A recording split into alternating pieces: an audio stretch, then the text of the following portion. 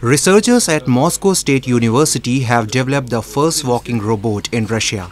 Weighing about 15 kilograms, this robot understands several commands with no verbal communication. However, the machine gets up without any assistance. Moscow University has enlisted itself among the team from USA, China and Europe to create such robotic technology. Сейчас есть очень похожие приводы, там стоит практически такой же мотор, похожий редуктор и электроника управляющая. В принципе, в целом похожие по, по устройству функционалу. Вот. Но когда мы начинали, в 2019 ничего этого не было.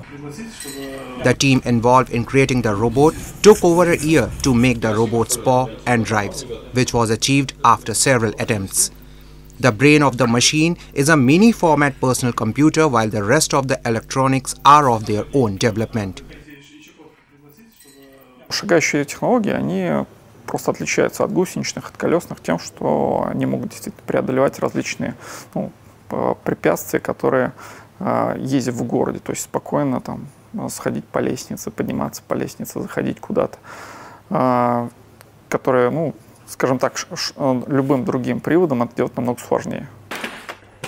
The creators of the robot are satisfied with the result, looking forward to upgrading the machine where mechanical components, stability, control reliability will get better.